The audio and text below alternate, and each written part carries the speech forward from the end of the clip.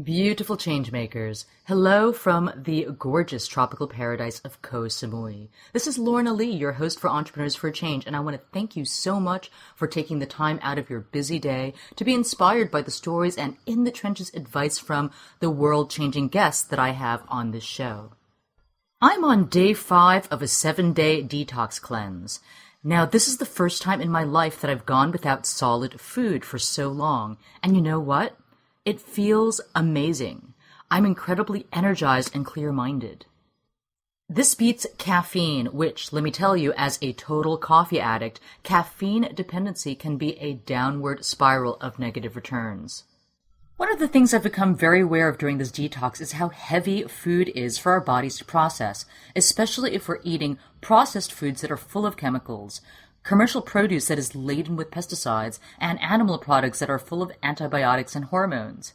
Even if you only eat organic, if you aren't combining foods correctly, Google food combining to learn more about this. Your body actually burns more energy trying to digest the food than it is actually getting from the food. If you ever feel like taking a siesta after eating a burrito, that's what I'm talking about. So if you're an entrepreneur that is into hacking the body and mind for optimal performance, consider doing a detox retreat. So getting back to our podcast, my special guest for today is Lisa Fabrega, who is a multiple six-figure coach, writer, and leadership innovator. Lisa believes that every time you hold back, self sabotage, and keep yourself from stepping into the leadership you know you were born to embody, you are affecting the fate of the world because you are removing a key player that assists in its evolution you. Her purpose is to help people unleash their inner Gandhi, Mother Teresa, or Martin Luther King's, or helping ordinary people achieve extraordinary things so that they can make a powerful impact in the world. For this reason, Lisa's clients call her the Courage Curator and refer to her as the secret weapon for the world's next great thought leaders. In this powerful interview, Lisa will share with us how she built her multiple six figure business from a 500 person email list. Tips and strategies on how you can authentically share your truth and connect with your audience. Her gracious and evolved technique for handling negative comments and feedback from people in your social media communities. What life purpose means to her. What it takes to effectively change the world as an entrepreneur. And much, much more. In the masterclass, which you can download for free at entrepreneursforchange.com slash 52, Lisa will share with us her blueprint for creating a high level mastermind program that is successful and profitable. Signs that your community is ready to embrace a premium mastermind program. The best time in your business growth to roll out this high level mastermind. The most important criteria you need to consider when designing a transformational mastermind program. How long it will realistically take to plan your high level mastermind program from concept to launch. Smart, savvy advice on how to avoid incurring financial losses on your mastermind retreat and tips on how to stay within your budget. Tools, people, and resources mentioned in the interview can be found in the show notes at entrepreneursforchange.com slash 52. Are you ready to be the change? If so, you've come to the right place. You're about to join a movement of entrepreneurs who are empowering people saving the planet, and turning their passion into profits while creating the lifestyle of their dreams. If you don't believe us, check out our website at entrepreneursforchange.com, a place where you can be inspired, mentored, and supported by a tribe of change making entrepreneurs just like you. Now, before diving into the interview, I want to encourage you to rate, review, and download Entrepreneurs for a Change on iTunes. This really helps us reach more people with inspiring stories of entrepreneurs who are changing the world. Also, if these stories inspire you to start a world changing business of your own, head over to our website at entrepreneursforchange.com and download the Business Changemakers Toolkit to get a jumpstart today. Now, on to the show. Hello there, Lisa. It's such a pleasure to have you with me on this podcast. I am so impressed with the success that you have been able to achieve as a um, business coach. And I'd love to find out more about how we might be able to replicate that success. So let's kick it off by first starting off by introducing yourself to our audience. Who are you and what is your business? Sure. So I'm Lisa Fabrega. I'm the founder of lisafabrega.com. And uh, I'm I'm a writer and a coach, and uh, my client, some of my clients call me a courage curator. um, and basically, what I do is I help you get rid of all the stuff, all the fear, anxiety, limiting beliefs that are holding you back from becoming the powerful leader that you know you are meant to be in the world, so that you can make a, a big change and a big impact in the world around you. So, who are the clients that you tend to work with? Um, they tend to be entrepreneurs, men or women, uh, who either are leaving an old project, and an old business, and starting a new one. Um, and they're afraid because the new one tends to be more aligned with who they are and they're going to be more visible uh, fully as themselves versus hiding behind a brand name or something like that. And so they're looking to just make sure that they can really hold that container for such large audiences and make sure that what they're putting out there really is who they are versus some sort of um, version of a business that would people would like, but it's not necessarily something they want to keep up long term. Or it can also be people who are just starting out and have had success in other areas and they're feeling called to start their own thing, uh, a more purpose based business. And you know all the fears and, and the, the doubts that come up along the way in terms of being visible just fully standing in your truth of who you are um, i work with those as well. And once we get past those then it's deciding what type of a leader do you want to be um, what's in alignment for you what's the exact type of impact you want to be making in the world and how do we get you aligned with that in a way that feels authentic to you so, what inspired you to become an entrepreneur, especially one who helps other entrepreneurs overcome fears, anxieties, and limiting beliefs? Um, was it a gradual uh, progression, or did you have an aha moment that led you to decide to start the business that you have now? Oh, for sure. I mean, when I first started my business, I was an actor. Uh, in New York City. And the, the reason I even decided to start my own business was that I never even knew that I had the potential to do that. I was still very much in that mindset of if you need money, you do a nine to five. And I didn't know that I could actually be the creator of my own financial abundance. And so a friend of mine who was also an actor came up to me and said, you know, I've been, I started this coaching business and it's going really well. And I've been able to stop working at my nine to five job just to pay my bills. And this, you know, this is really flexible. I'm my own boss. I can go on my auditions whenever I want to. And I thought, oh, well, if she can do that, I want to do that. and so I actually enrolled in the coaching school that she had gone to and it was a huge risk for me. It was a huge risk. It was very scary because I at the time was I had just been laid off of my job and um, I was living on unemployment, desperately trying to find another job and I remember I had to borrow money to pay for the coaching school. And the night before I signed up for the coaching school, it just felt like such a huge leap and such a huge decision. And I knew it was going, this decision was just going to make an impact. I didn't know if it was going to be negative or positive, but you know, when you can feel the impact of a decision. And so I remember I cried the night that I called to sign up for the school because I was so terrified. And I kept thinking, you know, how, you know, how is this going to work? And what if I suck? What if I fail? And then I'm, now I'm going to be like 9,000 in the hole from the school. And I did it anyway. And I started my business as right before I graduated from my coaching school and just started hustling to get clients. And for the first two years, my business did not so, not, not so badly. I mean, you know, it was just the natural progression of a business owner. And I was a, you know, I've always been a hustler. I always have worked been willing to do the work to get to where I need to go. But I started to notice towards the end of the second year that the, that my message had been changing. And what I had actually done is when I had started my business, I had just picked what I thought would be most popular based on what I was seeing around me. And I had followed like the templates that other people had followed. And what was happening is it had gotten me a certain level of success, but it wasn't the type of success that I was craving. Um, and I was working these like 12, 14 hour days. And I wasn't pulling in the amount of money that I should have been pulling in for working that hard. And there were all these things that I had been longing to say to my audience. I was having these incredible transformational experiences with my clients as I was working with them privately.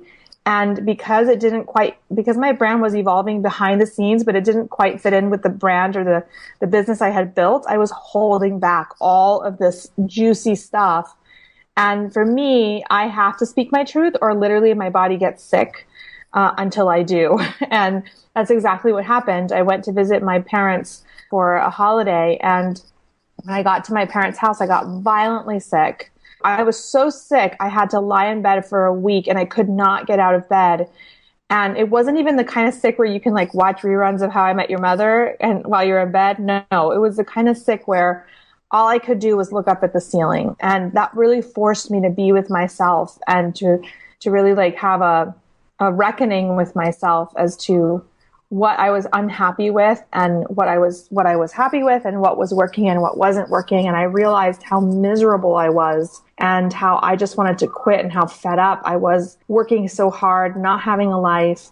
Um, and you know like holding back all of the stuff that I wanted to be sharing with my community because it didn't quote unquote fit in with my brand. And so I kind of just had like this breaking point where I was like screw this I'm, if I don't say what I want to say, I'm quitting because it's not worth it to feel this way. And so I remember um, when I started to feel a little bit better, I just started to pour out all the stuff I've been wanting to say for years about all the different topics. And a lot of it was business related. And I didn't start out as a business coach. So I was afraid that people would sort of like pick at me for trying to talk about business because those are all the types of silly fears that we have. And I did my first Facebook post and it was just like pure, like my truth. Like, this is what I think. This is what I feel. And I'm tired of people doing this to themselves. And within minutes, I had more likes and more comments than I'd ever had.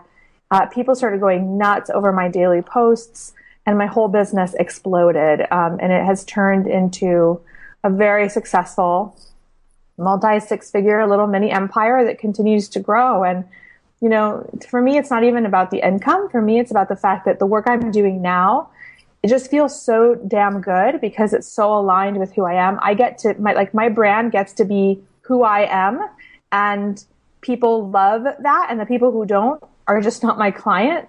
And because I am just who I am fully in my branding and, and everything I say and do, number one, it's much easier. So I don't work as hard as I used to. I have much more free time because I know exactly what to say. And number two, it, is, it has attracted the most perfect clients for me. So whereas before I used to have clients that would sometimes just drain me and didn't feel like the right fit, but it's like I have a business and I have to keep it going. And maybe this is just the way it is with all clients.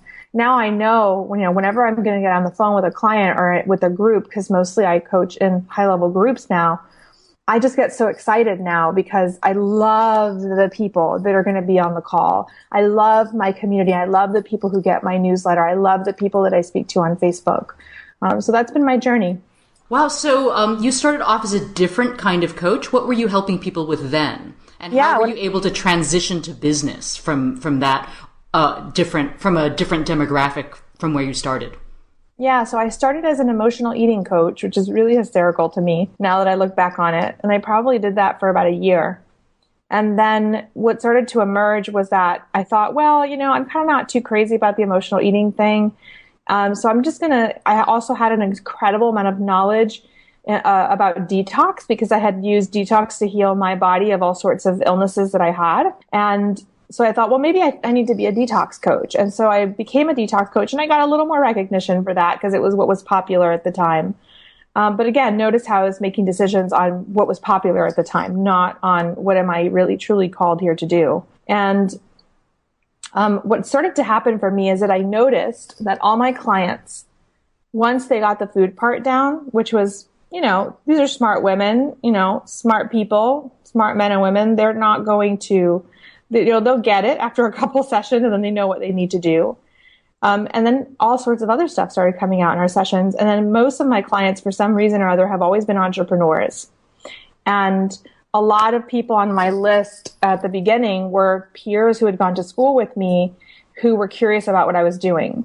And so I always kind of had a group of, of wannabe or current entrepreneurs following me no matter what I was doing. And what started happening is my clients that were came to me for detox work started really talking to me about their lives and then their businesses. And because I was building a business, I had expertise. I, I knew what it was like to be in the trenches. And um, in the third year of my business, the way I made the transition is literally like I explained to you. It was like plunging into the cold Arctic waters. it was like, I'm fed up and I'm finally going to start talking about business because that's what I've been seeing people be so out of alignment in. And my clients are coming and talking to me about their businesses. And everybody who's coming to talk to me is a person who has a calling. And the way that translates into our world today is it's basically starting your own business or starting your own project or your own thing. And um, so yeah, so I just I didn't really even make a transition. I just jumped right in with my first Facebook post and I started talking about it and then people started coming to me for it. And lo and behold, I had a very a good talent for it, which I didn't even know I did. So that's how I made the transition. Okay, so I'm so curious about how you walk the fine line between sharing yourself authentically on Facebook and, you know, publicly through social media. And if you have any tips on how to do this, because, you know, sometimes, you know, for me personally, it's uh, unclear like how authentic I need to be as both a business person and also within my community about some things that might be going on in my life versus whether I need to self censor because of being somewhat of a public official. So, do you have any tips on how to share yourself authentically in such a way that allows vulnerability to come through in such a way that connects with your audience, but doesn't necessarily um, give the wrong impression or vibe, so to speak? Yeah. So um, I think there's two ways to answer the question. Number one is that if you're overly thinking about how to be authentic, you're missing the whole point. If you're trying to figure out how to be vulnerable, you're missing the whole point because it's not something we can calculate. Vulnerability and authenticity is just who you are. But that being said, you know, it's not like we're going to go on and vomit everything that's on our mind, even when we're having a bad day onto social media, because we're, if, you know, it, when it comes down to it, we're here to serve our audience. And so there are stories from my life. I mean, I'm very vulnerable and super transparent with my people. Um, and some people haven't liked it, and too bad. You're not my audience then. Um, because my message for my people is to live authentically and to be who you are. And so if I'm holding back, then I'm not walking my talk. And it's my responsibility to be a mirror that, a mirror of that for my people. But at the same time, you know, I, I had a friend many years ago who kind of started, her business kind of started falling apart and she was sharing all of her Facebook, uh, all of her fears and her freakouts. And I finally sent her a message and I'm like, listen, I don't think you're actually being helpful to your audience by doing this. So that's like an example of just saying everything without considering how it's affecting your audience. So the questions I always ask myself before I share is not how I, I don't ask myself how I'm going to look because for me, it's not about me. It's about my people. So that's the first thing I would say. It's not about you. It's about them. Number two, ask yourself, is this going to serve my people? Like, is this really going to serve? So there are stories from my life that are really compelling stories, but they really don't ser- like until I find a way that they're going to serve my people. There's no point in telling them. Um, and number two is you have to ask yourself, do I want to contribute to expansion in the world or do I want to contribute to contraction in the world? And if you're here to make an impact, a positive impact, if you're here to, to help people, then most likely you're here to contribute to expansion. And you have to be very aware of the fact that when you're in a public position, when people are seeing you, you do have an added responsibility of weighing your words heavily. And I don't mean holding back and suppressing who you are. I mean, is what I'm about to say, is what I'm about to write to a large forum of people going to expand or contract them?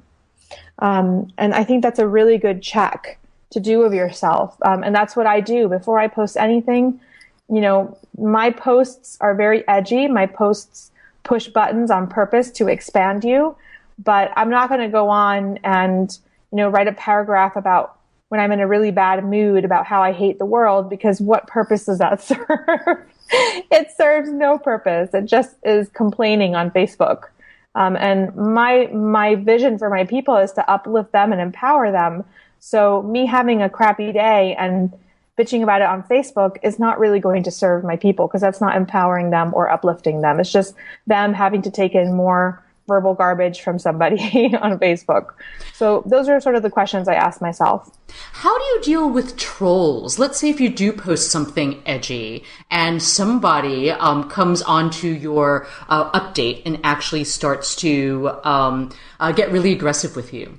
Do you? Um, how do you handle um, uh, commentary like that in the public eye? Yeah.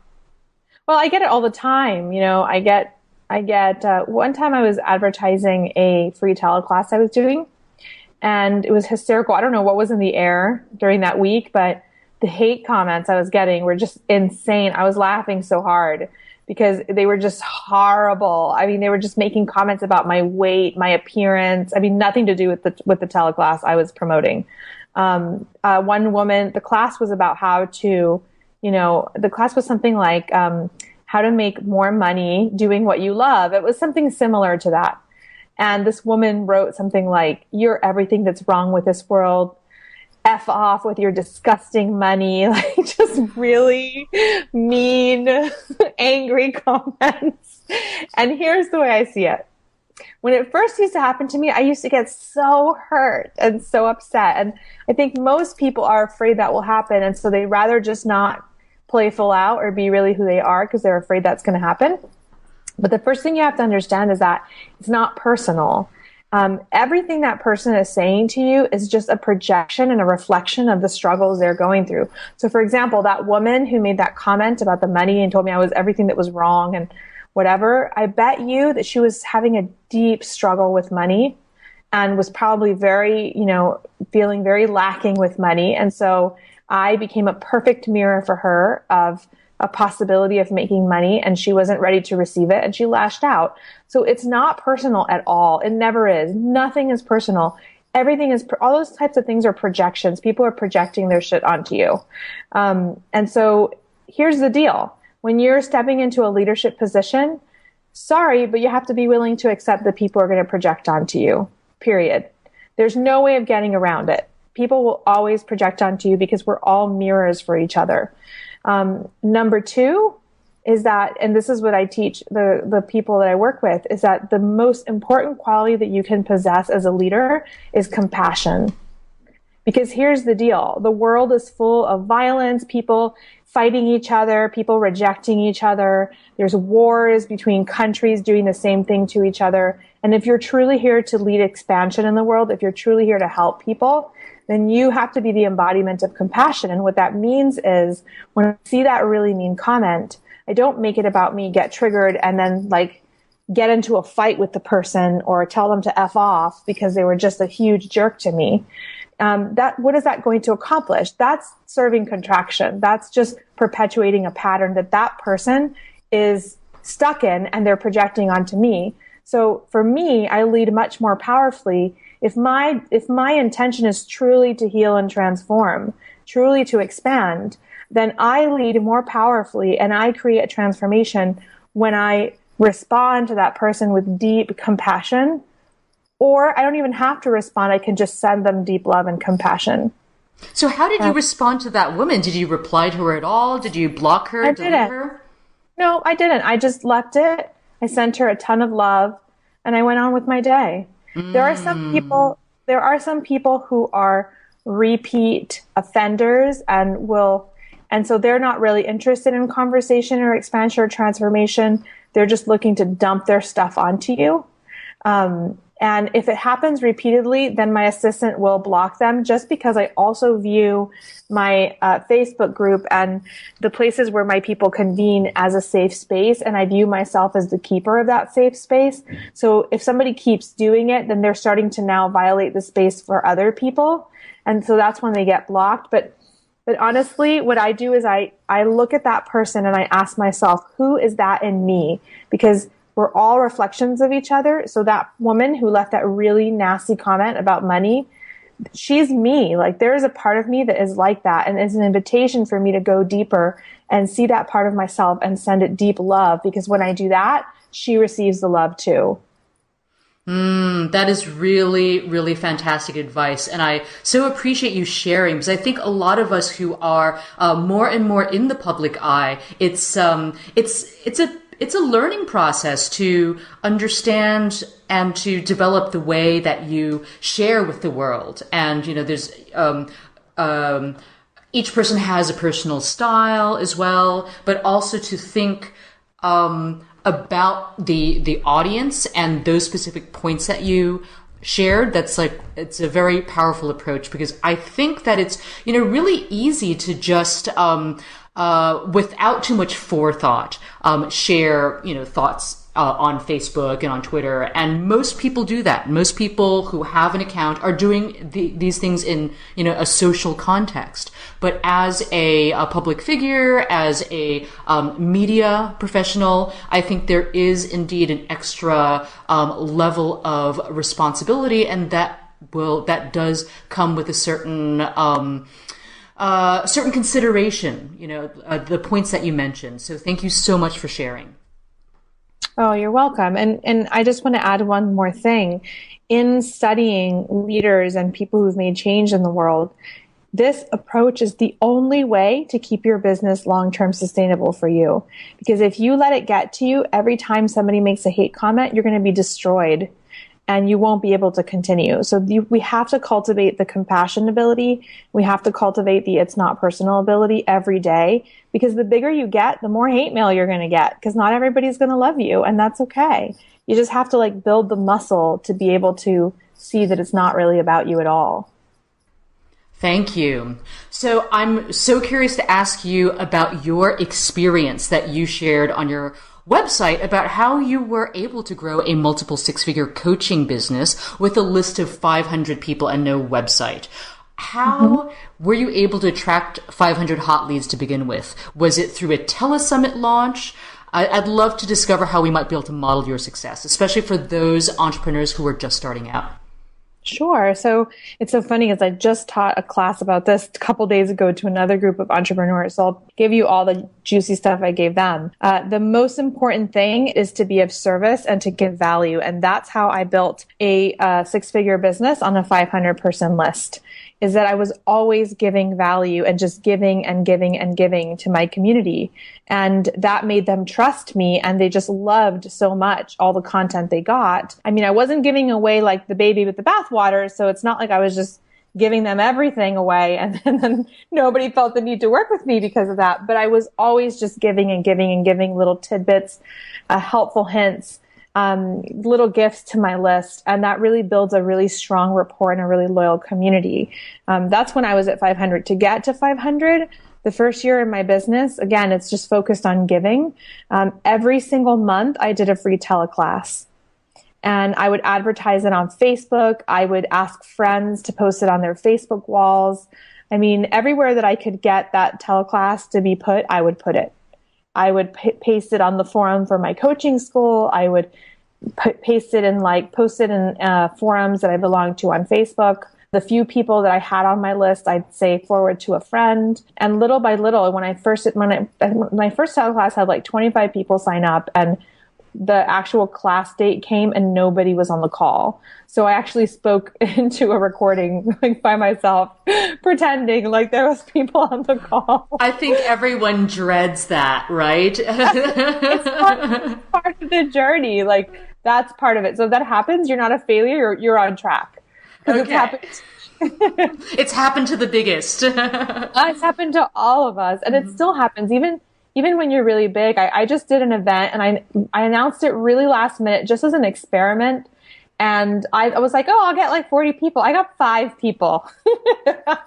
and you know what? I didn't care because I was so happy to be able to teach the material I was going to teach that I was like, cool, it's just going to be a super intimate group. But you know, even me, like I could only get five people at a short notice on a weird random day, which was when my event was. But um, yeah, that's how I did it. I did a free teleclass every month and little by little, people kind of started to find out that this, hey, this girl, Lisa, does this free teleclass every month. And it was a different topic every month. And uh, it started bringing people in. And what's really cool about teleclass is that people can start to experience you uh, live over the phone and they really start to feel like what it's like to be around you. They, they start to build trust with you because people aren't going to give you their money until they trust you. I'm not going to just walk up to a random person on the street and be like, here's $5,000. No. I need to know you. I need to know that like you are legit. I need to know that you're in business for longer than three months. Cause what if you like take my money and then your business shuts down? So just being a consistent, um, a consistent face in front of your people over and over and over again starts to build trust. And eventually, you know, my teleclasses started to get like 50 people, 100 people, um, 500 people. And now for me, it's just very regular to get between 500 to 1,000 people onto a teleclass. Um, and I only do teleclasses like two or three times a year when I'm launching something now. But if you're really serious, do a teleclass every month. And so, how many months did you do your monthly teleclass before you started to, before you had, until you had that list of 500? I would say about a year. It was a year of just consistently, because you know, teleclasses are great list builders because as you're advertising them, people have to enter their name and email to sign up to be on the teleclass.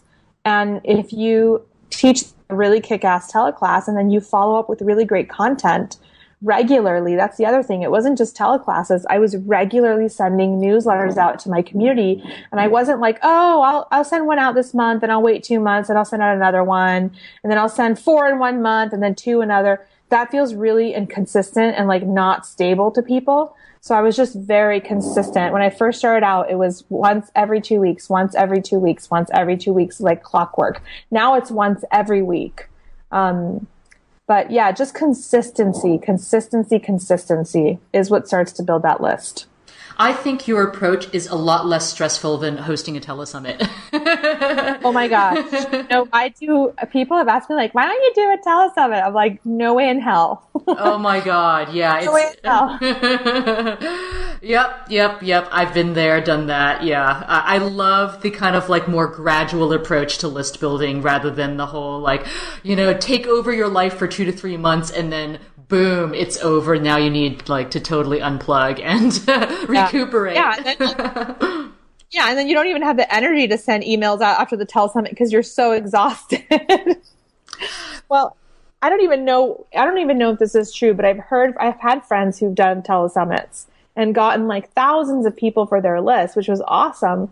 But then they tell me that they're very not that the list becomes not very responsive, like that it's not always the best type of list to have. I'm not I'm not sure if that's the case, but that's what I've been hearing from a lot of people lately. That's interesting. I've heard the opposite. I've heard that telesummit lists are actually warmer because you've positioned yourself with um, 20 other experts, for example. Interesting. Hmm, interesting. Yeah, be good to, to do a little bit more research. So, yeah. Uh, what you just described to me, then the monthly tel- uh, teleclasses and like the regular content and giving value, is this then the secret to creating a tribe of loyal, raving fans that want to participate in every program you create, or is there more to that? Um, yes, that's one of the secrets, and the other secret is to be authentically you. And I'll tell you why. My people love me. They love me and I freaking love them. Um, like there's real love there. And it's because I give everything to my people. Um, and that means I'm writing them like my newsletters to them. I put a good two, three hours into each one every week um, because I want to make sure it's just going to rock their world every time I send it out. Um, and I, and you know, based on their feedback, it does. So it's not just like an email like, Hey, come buy this from me. Cause that just feels like somebody's using you. It's like a really rich email or it doesn't have, if you're not a good writer, it can be a video. It can be an audio. It doesn't have to be written word. And on Facebook, I write content too. So it's it's different from my newsletter. So they're getting like daily inspiration on Facebook. I have a woman that I hired to do memes for me, and she creates these beautiful graphics with my quotes on them for inspiration for people. Um, and the top thing that people tell me, I mean, I get a lot. My audience is very, they love to get, they're just very responsive. So they write in, they, they share how they feel on Facebook because I ask them to. And because I give them so much, they're happy to do that. They're happy to participate. But the top two things they say to me is number one, you give me so much and you help me so much on a daily basis, whether it be on Facebook or something I stumble across on your website. But number two is I just love how you own who you are and it's an inspiration for me. And I just want to be around you so that like I can do that too. That's the top feedback that I get from my people. So I would say, yes, consistently provide good content to your people and be of service and stop thinking about yourself. And number two, just be you because those are the best types of clients, the ones that you can just be yourself and you don't have to think about what you look like or if you're going to offend them. My people know I cuss. My people know I'm going to call them out on their BS and they freaking love it. And then I don't have to be like spending energy and wasting time being somebody I'm not and being nervous that I'm going to be found out, which lends really into a lot of people have this fear of being found out. They're going to be a fraud. And I don't have that fear because I own all of my flaws and all the stuff that I am on Facebook. And at this point, if anybody wants to be like, I found out that this happened when you were 12, I'll be like, yeah, so what? That did happen to me when I was 12. So vulnerability is true strength and true power, in my opinion. Mm, I love that. Thank you so much for sharing that gosh, I'm so inspired by um, by all your uh, all your wonderful advice, and I can't wait to be able to create a community of people that just where there's so much love circulating. You know, it, it's it's wonderful to be in that place where you can say with complete confidence that you know your tribe totally loves you, and um, and then you love them back. You know uh, I think it's um, it's interesting because I think most people end up with a mixed bag. I mean, I would love to say that about most of my tribe, but then occasionally I'll have some folks that you know might have hailed from high school, for example, all of a sudden come out with this flaming thing. I'm like, whoa, I didn't know you were so right wing. Okay, and of course, me being a liberal, you know, so um, it's kind of interesting. But I think that, gosh, you know, I think that's something that we all really long for too, is to really truly find our community and to be able to create it. And I think most of us, you know, have a mixed bag of folks within our you know communities that you know have come from different parts of our lives. And sometimes you know we grow in different directions and you know the love that might have been there when you were uh, in your teens you know may have really shifted as people have grown and values have changed and all of that. So uh, do you find that you actually need to do any culling of people from your community? Um, or is it you know have you successfully really just uh, populated your community mostly with people that uh, that are your loyal raving fans well, I think that um, the calling kind of like people self select out the way that I do it because I'm so just like, hey, you know what? This is how I do things. And if you don't like it, you can go somewhere else. Like there's just, I have that energy and, and it's not like a defensive, like FU type of energy. It's like what's done here is fully owned and I've done the work to own that. And if you don't like it, it's fine. I love you. And there's just no place for you here. Um, and so I find that anybody who like doesn't because because my message is because I try at least to just be as fully me as possible. Like I will cuss in my newsletters and anybody who would have issues with like me being liberal or cuss immediately unsubscribes and removes themselves. So again, being really clear on who you are and not apologizing for it is the best color of the people that are not aligned with what you're doing, number one. And number two, yes, in the beginning, I did have to um, block some people, or um, if people were repeatedly offensive, I would just ban them. Um, and but I mean, I to be honest with you, I haven't really had to do that too much. And people who have issues with it, let's say if it's like a family member, obviously I can't ban a family member, but if it's a family member, they've just kind of stopped pestering me because I, I'm not going to stop. like they can say all they want and I, you know, love you, but this is what I believe and I'm going to keep doing it.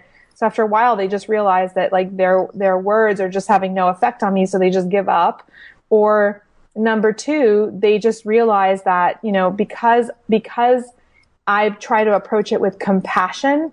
There's no reactive need to keep pushing on me. It's like, I love you. I see where you're coming from. I'm sorry you feel that way.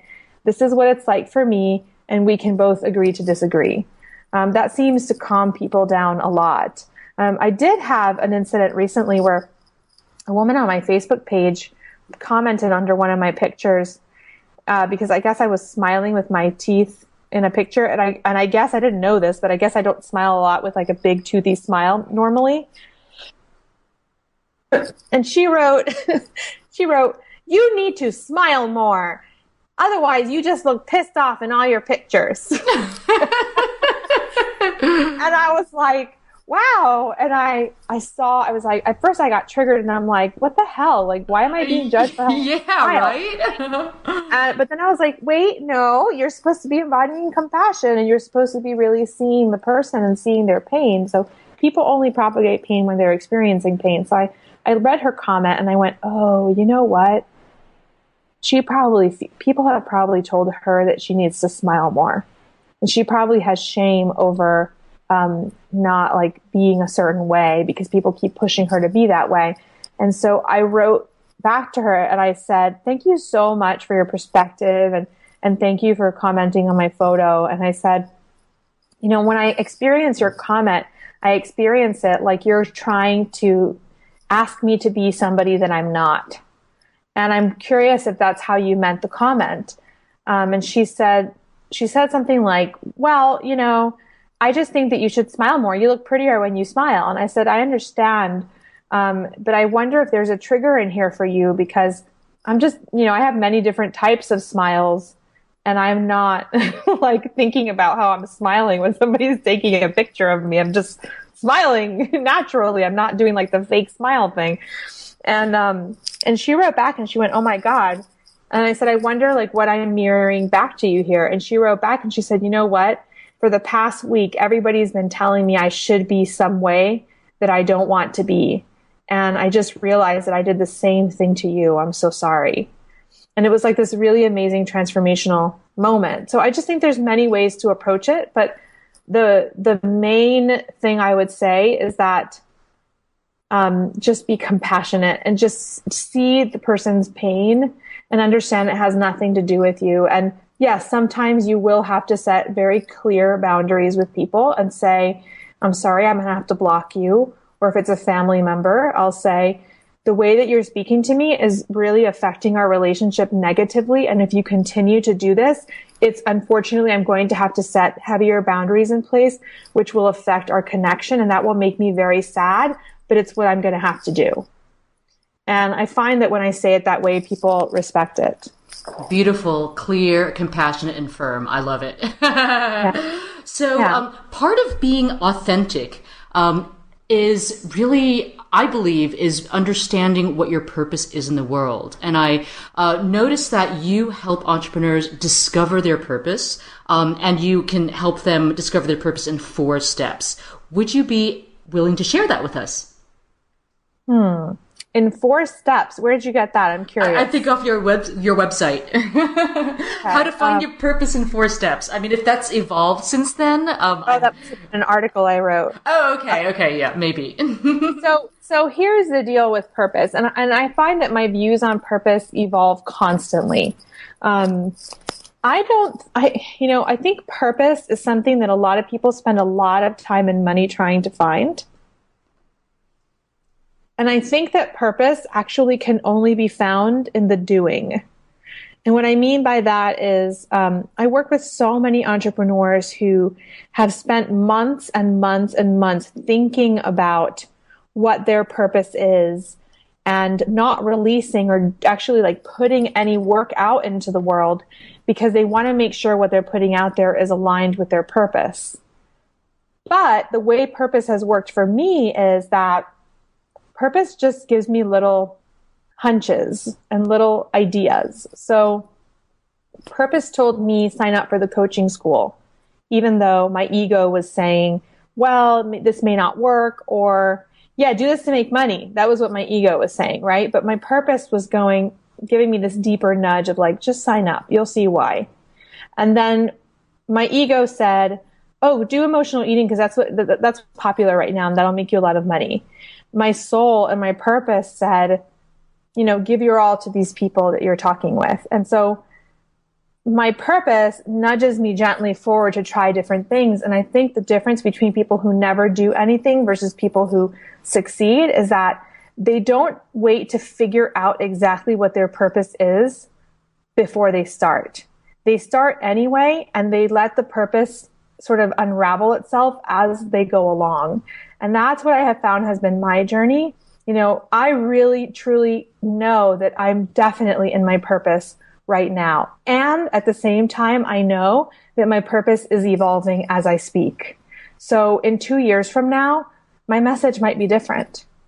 But that doesn't mean I'm stepping into a different purpose. Your purpose is not what you do. Your purpose is not your job title. Your purpose is something that you do when you are watering your plants, when you're eating, when you're talking to the stranger on the street, when you're breathing, when you're talking to your clients, when you're reading a book. Like your purpose is the embodiment of you in every moment. So instead of waiting to like find your purpose, just start following the little hunches you get and trust because those little, that doing starts to reveal other steps that you wouldn't have seen unless you took that first step. And then you can, you're like, oh, I can take these two steps in this direction. And then you take the steps in that direction. Then all of a sudden a whole other landscape opens up that you can only see from that vantage, vantage point of having taken those two extra steps. Um, so don't try to like figure out what your purpose is. Just follow your hunches and do, do, do, do.